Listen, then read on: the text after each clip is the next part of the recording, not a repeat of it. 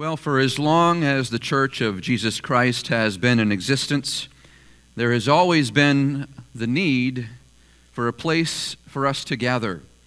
Of course, we Christians know that the church is not a building. Rather, the church is a gathered assembly of people. So, you all, beloved, those who are in Christ, are the church of the living God. The building is where we come to worship and gather together. Now, in the early years, when the church was young in Jerusalem, Jewish Christians met in synagogues and they met in private homes. Once persecution began and drove them underground, however, Christians began to meet secretly in their houses and even in caves. By the fourth century, the Romans were building very large and stately church buildings, and by the Middle Ages, the church was meeting in castles and cathedrals.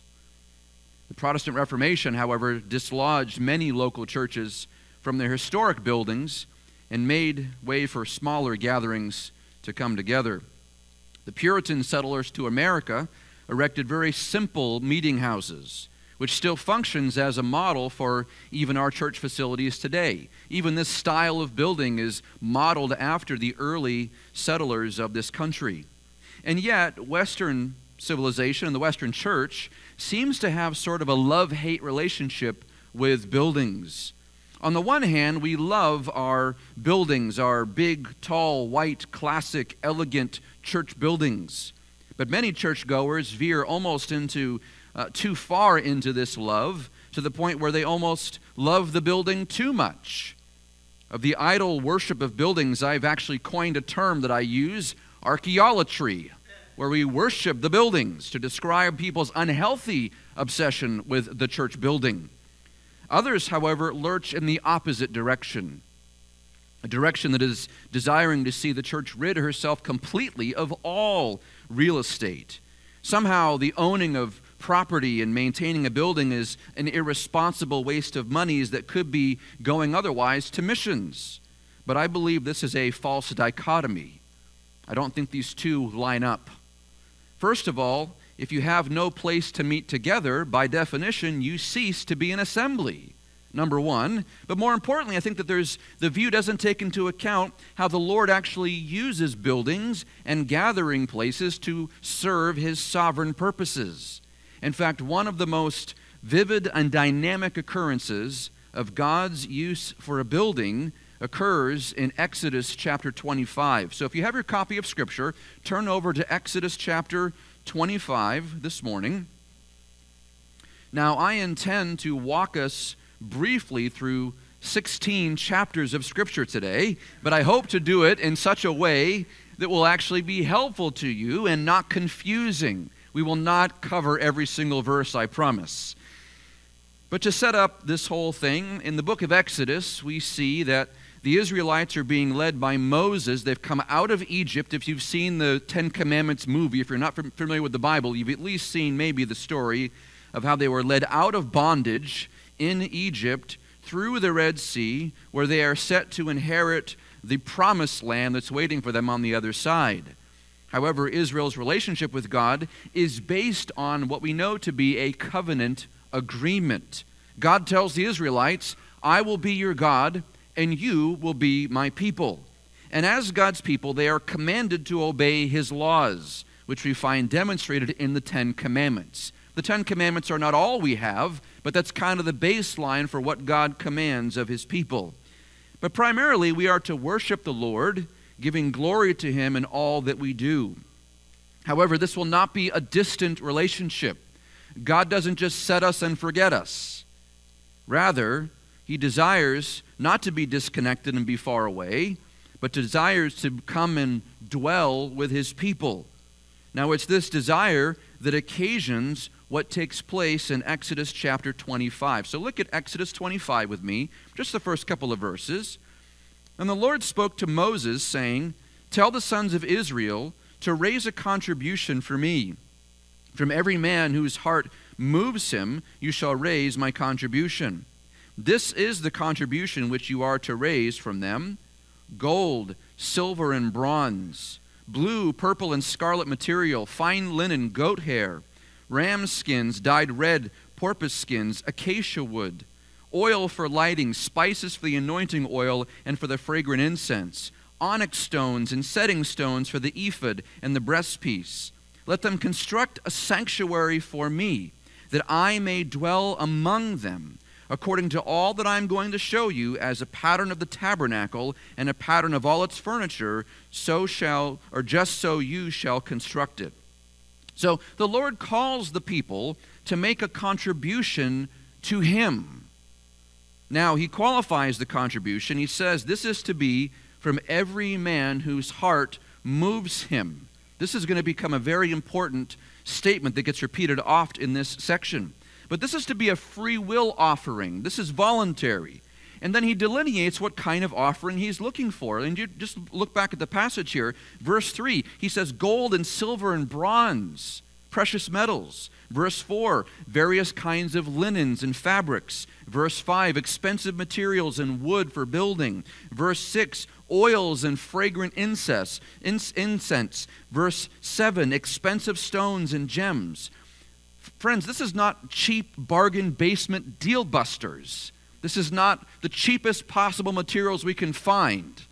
Rather, this is, these are nice materials and expensive materials, costly materials.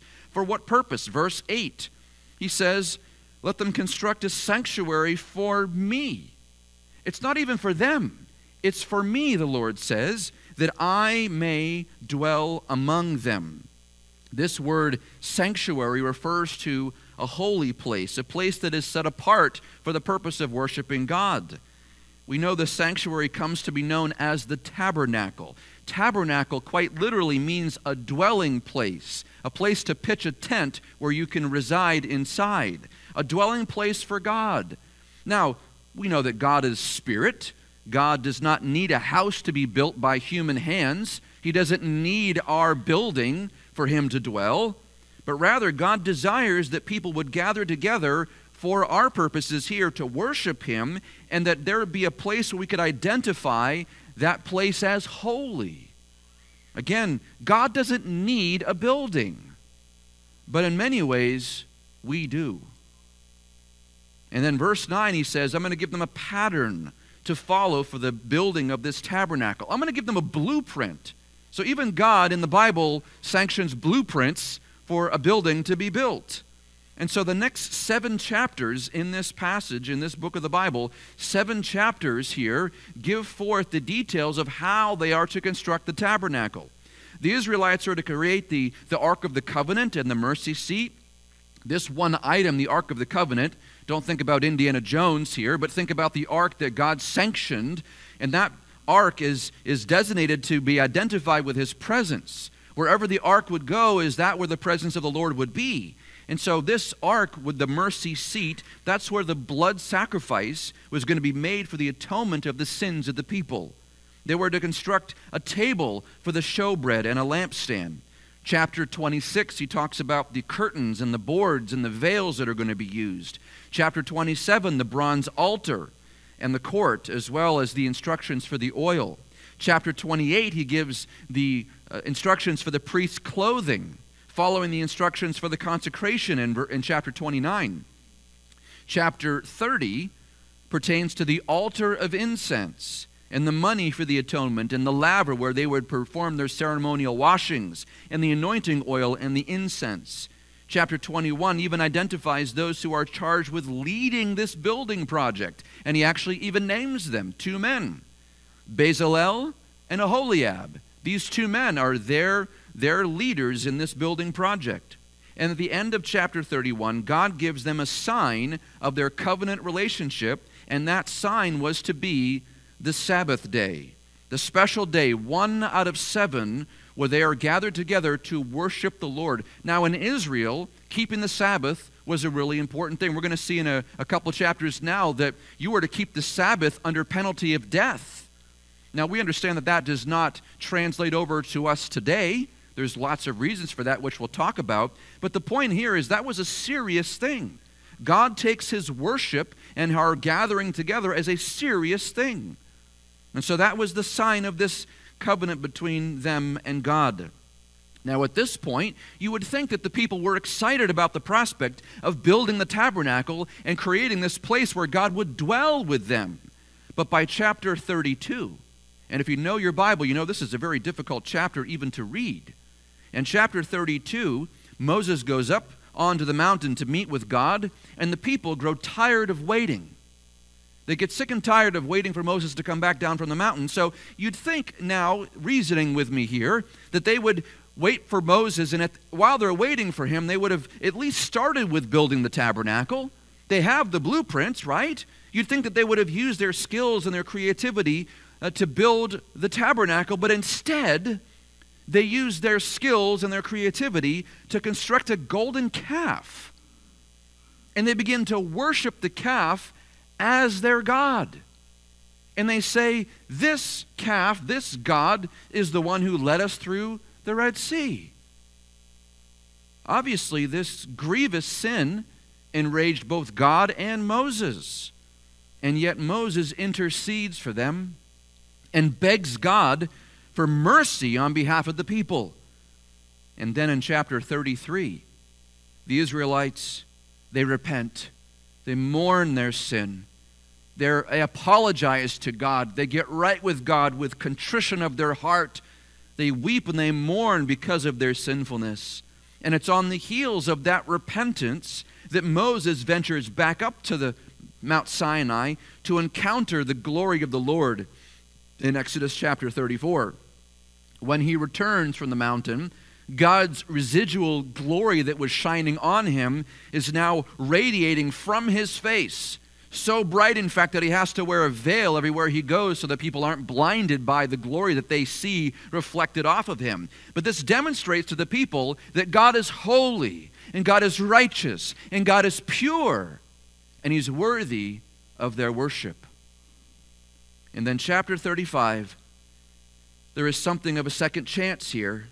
And if you turn over to chapter 35, we read this. Then Moses assembled all the congregation of the sons of Israel and said to them, These are the things that the Lord has commanded you to do. For six days work may be done, but on the seventh day you shall have a holy day, a Sabbath of complete rest to the Lord. Whoever does any work on it shall be put to death. You shall not kindle a fire of any of your dwellings on the Sabbath day. Moses spoke to all the congregation of the sons of Israel, saying, This is the thing which the Lord has commanded, saying, Take from among you a contribution to the Lord.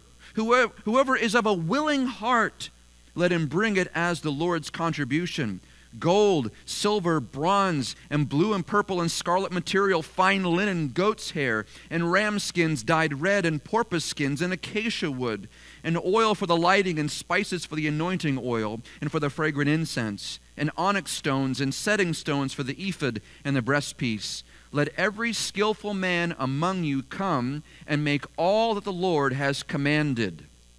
Notice this essentially repeats what we, what we read about back in chapter 25. Now, there's been a, a little bit of a time stamp. There's been several weeks at this point where they have forgotten. And Moses says, I'm going to remind you of what the Lord already told us to do. And then, starting in chapter 36, we see these builders, Bezalel and Aholiab, they get to work. Now, these chapters, chapter 35 and 36, are very interesting for us. They give us a window into what kind of people God used to construct his tabernacle. Look over at chapter 35, verse 31. Notes that Bezalel, the builder, was filled with the Spirit of God in wisdom, in understanding, in knowledge, and in all craftsmanship. Along with this man Aholiab, we read that God gives them both gifts of service and a desire and wisdom. This isn't just random grunt laborers or hired hands. These are spirit filled men who God has blessed with the task of constructing the tabernacle.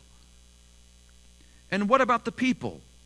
Those who are giving and serving. Over and over again, we read this quality of their heart and of their devotion. We read in chapter 35, verse 21 everyone who's, listen to this, whose heart stirred him and everyone whose spirit moved him came and brought the Lord's contribution for the work.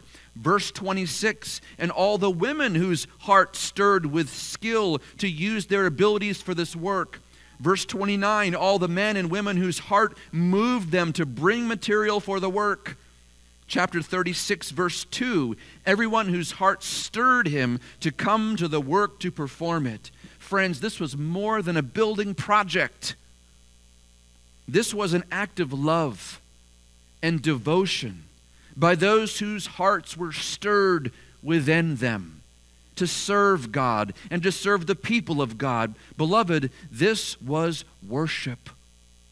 They brought their skills and their talents and their money and their materials and their time and their very heart to worship God.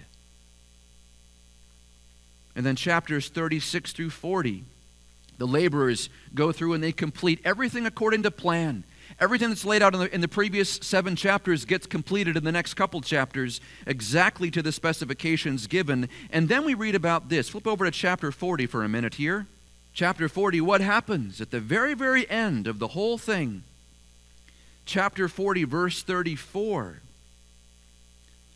Then the cloud covered the tent of meeting and the glory of the Lord filled the tabernacle. Moses was not able to enter the tent of meeting because the cloud had settled on it, and the glory of the Lord filled the tabernacle. And throughout all their journeys, wherever the cloud was taken up from over the tabernacle, the sons of Israel would set out. But if the glory cloud was not taken up, they did not set out until the day when it was taken up. For throughout all their journeys, the cloud of the Lord was on the tabernacle by day, and there was a fire on it by night in the sight of all the house of Israel. This is remarkable. This is remarkable. God displays his glory. We saw this a couple weeks ago when we talked about Jesus' uh, walk up the Mount of Transfiguration, this glory cloud that appears before uh, Peter and James and John, the same glory cloud, the manifestation, the visible manifestation of the glory of God to us. This glory cloud descends on this construction, on this building, and the glory fills the tabernacle with God's visible presence. Why? Why did he do this?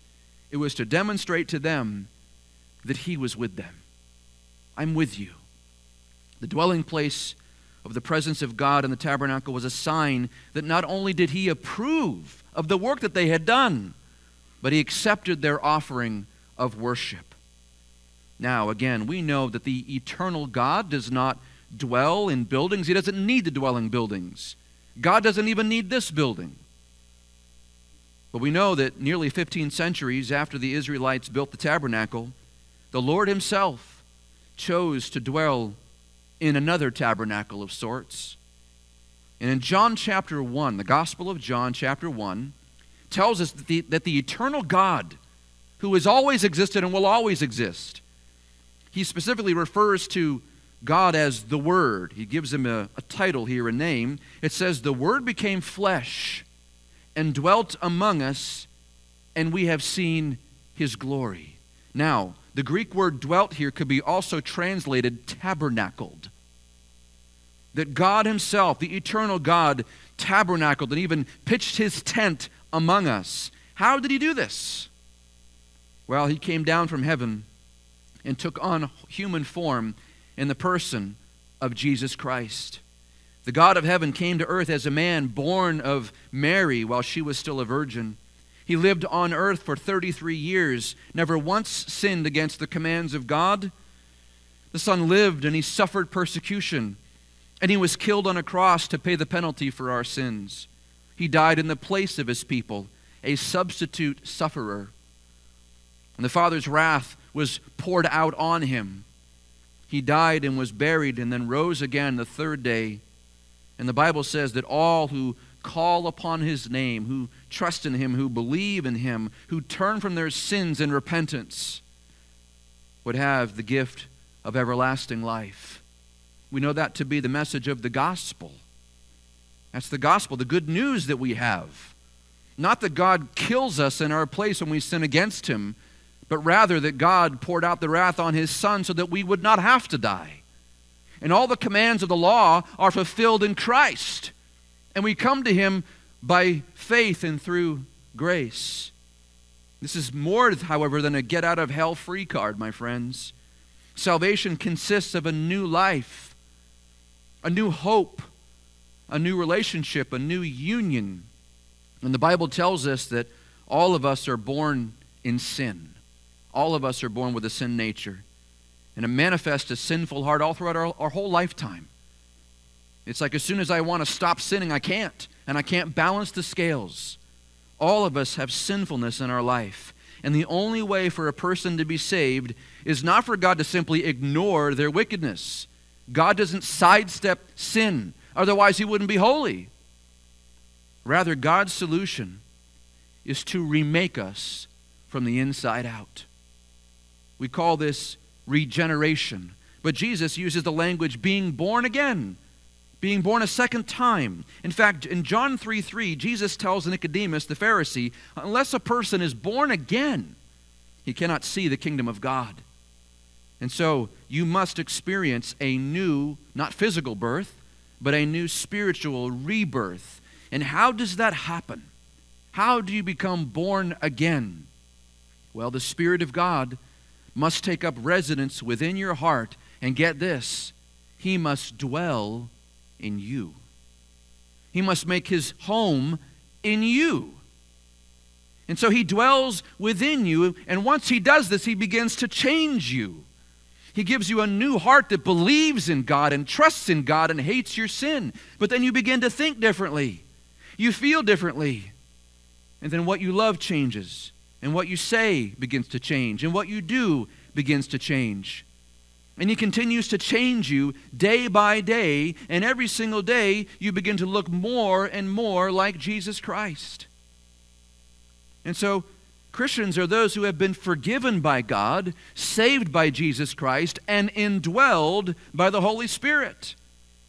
And because of this, 1 Corinthians 3:16 tells us that we are temples of God and have the Holy Spirit dwelling within us.